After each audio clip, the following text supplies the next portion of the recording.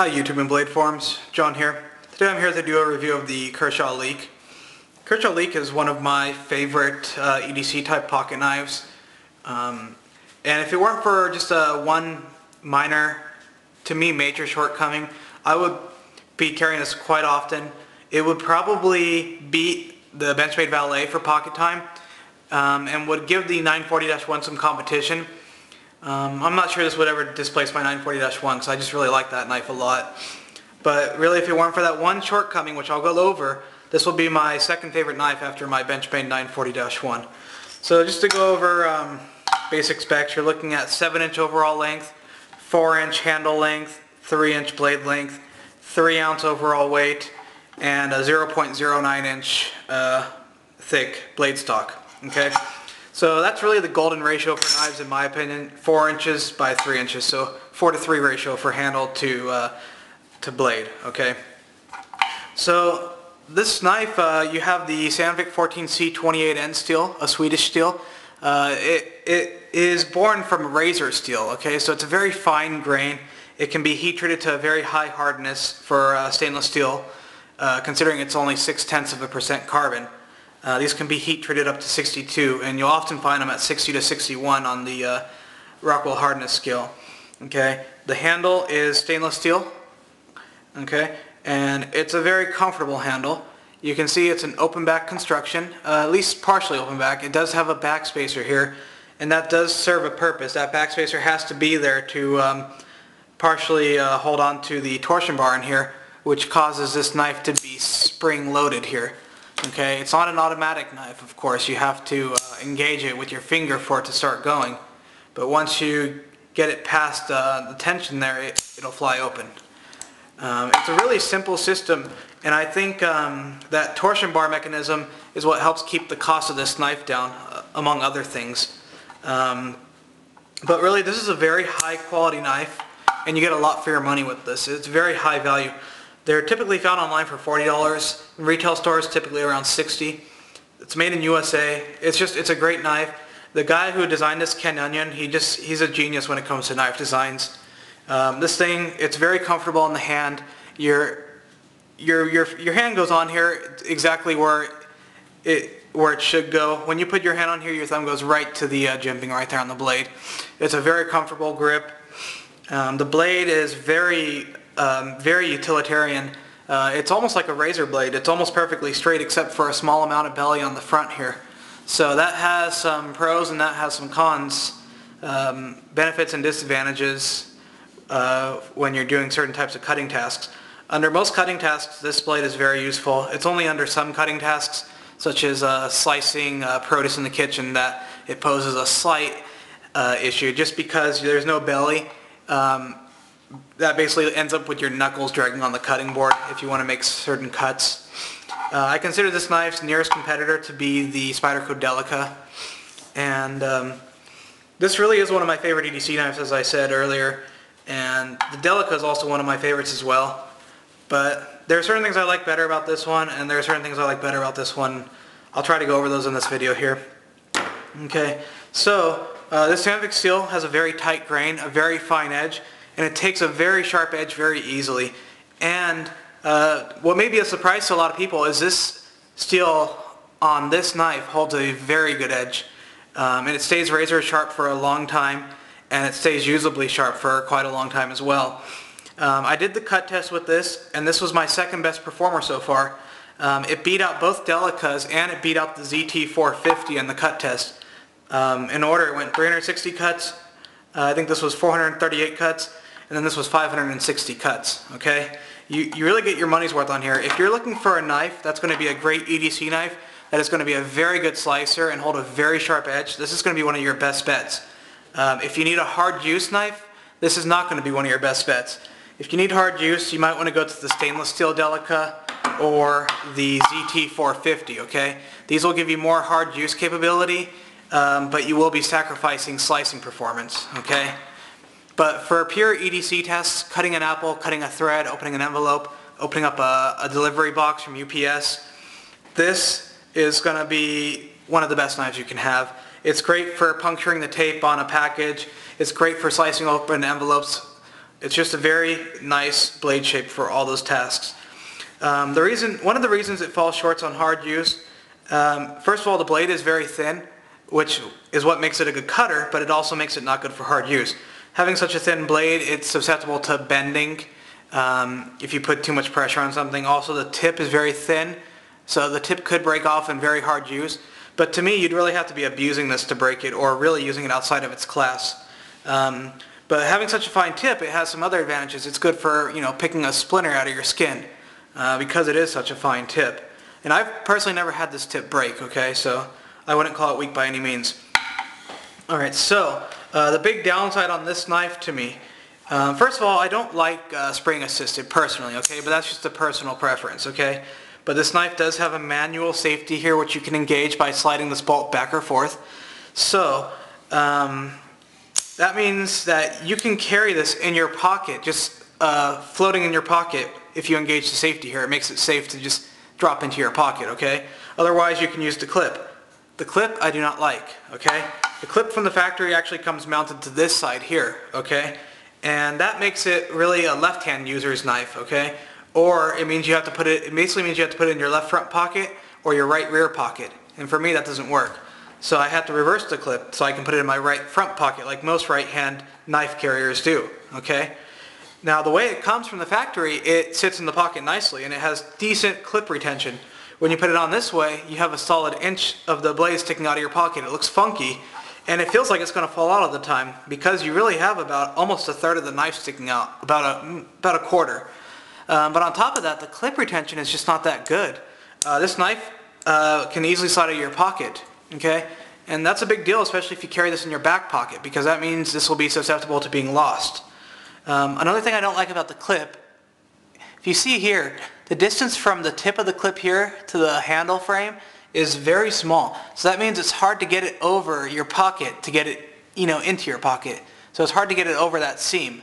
Um, you have to really pay attention when you're putting it in. It takes some getting used to and it makes it difficult to put it in your back pocket just because there's so little room for air when you're trying to slide that over your pocket there. Okay? So because of its issues staying in the pocket, uh, it's a weak clip retention. Um, I docked some points off of that. I'll go over that in the end. Um, also, uh, for hard use, uh, one of the reasons I say it's not hard use besides the blade is the handle. On the handle, there's, I don't have the proper terminology here, but there's no butt on this thing, okay? you compare it to your ZT, you see how it has this uh, section right at the back here? How it swoops up right at the end there? That makes it so it cradles your hand, so your hand won't slip off very easily, okay? On here, you see how it's very smooth, okay? Your hand can just slide right off the back end, okay? Because there's no butt on it, all right? And so that combined with the fact that the blade handle, the knife handle is very thin and not very wide, it, it makes it so you, you will never really be able to use this for very hard use without the chance of it slipping out of your hands. Okay? That's not a bad thing because to me this knife's main purpose is EDC and it has the thin blade to prove it. Okay? So hard use is not something you should be doing with this. But if you do hard use, just keep in mind that it is not the strongest grip that you can possibly have. There's not much to grip onto. But for EDC uses, it's as good as you need. Okay? So this knife gets super razor sharp. After I did my cutting test, I was able to bring it back to razor sharp edge uh, within about two minutes using the Spyderco double stuffed uh, pocket sharpening stone here. One of my favorite sharpeners to use. Just to show you how sharp it is, I'm going to cut through my paper towel here.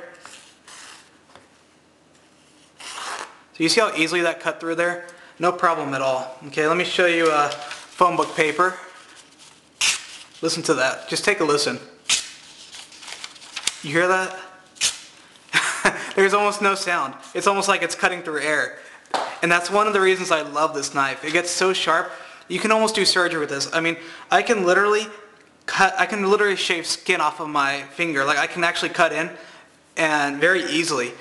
Um, and it's also good for trimming your fingernails too because you can keep this so sharp. It, it makes cutting through anything a breeze. It's just, it passes through material so easily because this thing is so thin and it's so thin right behind the edge and it has a nice hollow grind.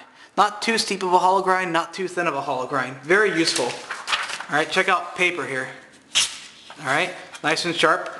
Now this is a, a test I like to do because it's something that has real you know, real life uh, purposes is cutting electrical tape here. It has a good grip for cutting the electrical tape. You can hold it in your hand easily and it cuts through so nicely, okay? Uh, speaking of grip, this knife is comfortable in the standard grip, but it's also comfortable in other grips as well, okay? Like this, for peeling an apple. The handle is just so, so comfortable for so many different uses, okay? It's just a great all-around knife. Let me show you what it's like to cut through some cardboard here, okay?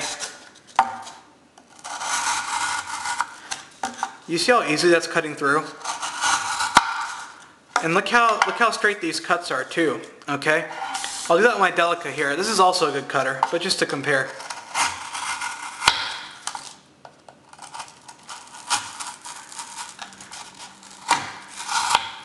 Alright, that there was something in the cardboard there. That wasn't the fault of the Delica. Okay, so the Delica goes through pretty easily too. It didn't go through as straight on one of the cuts as these ones did, and it didn't go through quite as easily, but it still went through easy. But this went through noticeably easier, the Delica, or the, uh, the leek did. So the Leek went through the cardboard noticeably easier. Now one point where I find the Leek to excel, where the Delica fails, is cutting, uh, whittling a stick, okay? So when you're whittling a stick, you'll notice how the grip is nice and uh, natural and comfortable here and you're able to really push on top of the blade to get into the wood. If you see here how I'm doing that. Now if you check on the Delica, you see here the grip is not so natural now, okay? My thumb is really digging into this thumb ramp here and it really actually begins to hurt when you do it for a little while. And so when I end up whittling a stick, what I'm doing is choking up way above the blade. It's not as safe that way and it's not as comfortable, but that's what you have to do. At least that's what I do. So for me, for whittling and woodworking, uh, the leek is better actually. And with the really sharp and fine edge and the hollow grind, it actually cuts into the wood better than the Delica does. Um, the Delicas just don't do good with wood. Alright, stop recording. Um, so I was just saying that this cuts through wood and sticks better than the Delica does. This leek with the hollow grind really digs into the, uh, the stick and the wood, where the Delica, it takes a little bit more force to get in, um, and it's just not as comfortable to work with. Now I just want to cut through some rope. So you can make a really small loop on here and that's another benefit of this blade. It's because the blade is pretty narrow. You can get into tight spaces like this here, okay? And you can cut right through the rope. And that actually cut through pretty easily. Take a look at this cardboard here too that I just cut. Look how I'm able to cut through there. I'm able to cut through these tiny little pieces of cardboard without crushing it, okay? That, that is an impressive feat. I'm sure the Delica can do it, but let's just give it a try. Yeah, see the Delica can do it too. Not quite as easily though, more resistance. Um, but this one goes through really nicely. It does clean cuts, okay? So, I think I've gone over everything here. Um, oh yeah, the knife opens by a flipper, okay, and also by thumb studs, which these thumb studs double as a kind of a stopping pin. This is what stops the knife from going any further. It, it locks up right against the back here, okay? And this is a frame lock, of course. Uh, there's no hardened steel insert. It's just the, uh, the steel from the handle is acting as the lock, okay? So this is not as um, resilient as the ZT, which has the hardened insert, okay? So that's another reason this is not a hard use knife, okay? Um, you'll find out that when you're doing some heavy cuts and you're really pushing into it, this will actually slide in a little bit farther too. You'll feel it when you disengage the, um, the lock, okay? So, I think I've gone over everything that I needed to go over. Um, cleaning on this with the open handle is not as easy as other open handle knives just because it's so narrow, the handles. Um, but here's the review that I came up with. It came up as one of my highest rated knives, okay? And there's uh, two different ratings I gave to this, and I'll go over that with you here. So, on the carrying, uh, the drawing of the knife, and the deployment of the knife, I gave it a 2.75 out of 5. That's the second lowest rating on here after the Sage 3. If you remember, the Sage 3 got a low rating because it was so wide in the pocket, you can't even get your hand in there. This gets a low rating because of the clip retention. The clip is, I just can't stand the clip honestly, for me personally. Um, when it's in my right front pocket, a lot of the handle sticks out. Uh, furthermore, the clip retention is very weak, and with the slick stainless steel handle, uh, it makes it so this can easily slide out of your pocket, okay? Plus, the the distance between the handle and the tip of the clip here makes it hard to actually slip over your pocket. So when you combine that, it can come out of your pocket. That coming out of your pocket makes it lose a lot of points. Okay, that's a big, that's a big um, docking there on the points. Uh, with the clip, that's hard to slip over the pocket. That docks it another couple, you know, fractions of a, a point. Okay, and then with the uh, knife sticking an inch out of the pocket, that docks it another a certain amount. Okay, um, but if you disregard those things, the knife actually carries in the pocket very well. Um, it's very, it's not very heavy. It's actually only three ounces, but it doesn't feel like that. It's very light and it's very narrow. So you can still use your pocket for other things. And for that reason, it gets good ratings. Um, and that, that's the only thing that really keeps it from having like a one or a two. Okay. Um, if it weren't for that silly clip, if it had a better design, this could have been all the way up on a four or a four and a half. All right. So slicer, the second best slicer after the Sage, three. And it's really not that far behind the Sage 3, so I give it a 4.75 out of 5.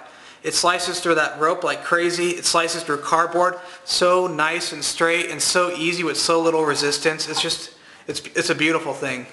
Uh, ergonomics, uh, four, and a four and a quarter out of five. Uh, I docked it points on ergonomics because of the lack of the butt on here, because your, your hand can slide off. But as far as comfort, this knife is top notch in so many different grips. It's an incredibly comfortable grip. But if you, the only reason I docked it at three quarters of a point is just because of that lack of the butt, okay? And to me, it, it's not worth docking anymore because this is not a hard use knife, okay? If it were a hard use knife, it would have been docked more. But for EDC use, it makes the class right. So I docked it three quarters because if you do use it on something hard, it is a, a possibility for it to slip, okay? Now for cutting and edge performance and use, I also gave that 4.25 out of 5, okay? And the only reason it really lost any points on that is just because of the lack of the belly. That just makes it uh, a little harder to do cutting through produce and just certain other minor tasks, but that's it. Um, and then for maintenance, um, 4 out of 5. Uh, it really is so easy to sharpen. Um, the reason I docked it points is for cleaning and maintenance because the handle is so narrow and it does have part of the open part blocked by the backspacer here. It does make it a little bit more difficult to clean this and oil it. Um, plus on the blade, the steel is very easy to remove the metal with sharpening, but the blade shape isn't as easy to sharpen as a, a knife uh, shape as a Delica. This Delica with the nice constant curve on it, that makes it so easy to sharpen with that blade shape. This blade shape, since it kind of has an abrupt change in angle, that makes it so it just takes a little bit more um, precision when you're sharpening. So I docked it just a small amount because of that on the sharpening and the maintenance for cleaning. So overall, I give this a 20 out of 25, an 80%. My second highest rated after the Benchmade 940-1. Okay, now the stipulation here. Um, if you're a left-handed knife user or you prefer to carry the knife in your front left pocket or your back right pocket, this rating here goes from 2.75 to 3.75, okay? And that makes the grand total 21 out of 25. And that makes for a total of 84%, okay?